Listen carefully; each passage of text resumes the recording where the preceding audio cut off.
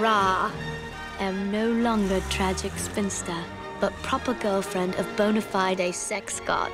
So committed that he's taking me on a full-blown mini break holiday weekend. Just promise me we don't have to sit in any little boats and read poncy poetry to each other. He's also agreed to protect me at Uncle Geoffrey's hideous Tarts and Vicars fancy dress party. This can't be just shagging. A mini break means true love.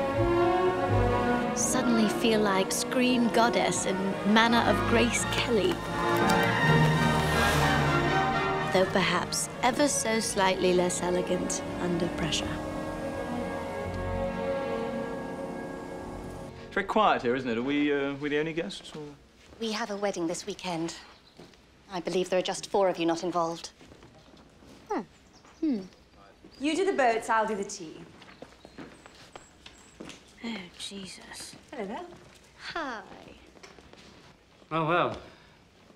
Take it you're also heading for the Alconbury's Rockery. Yes, that's right. I brought Natasha. Get a bit of work done. Thought I might make it a not entirely wasted weekend. How interesting. What a gripping life you do lead. Yeah, well, I'll, um, I'll see you upstairs in a second.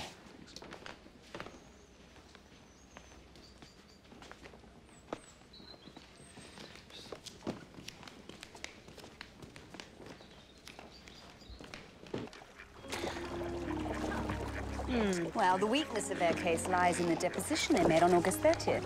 Season of mist and mellow fruitlessness. Oh, fuck me, I love Keats. Have you heard this one? There was a young woman from Ealing who had a peculiar feeling.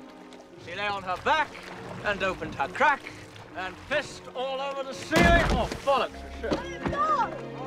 I'm boarding you, bitch. I can't see an alternative. Don't! I'm king of the world! No! What? Me? Ah!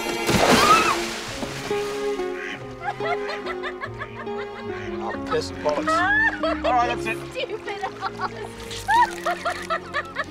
Bollocks. All right. So childish. Yes. Hey, Charles! Come on in. Water's lovely. Come on, you're working too hard, mate.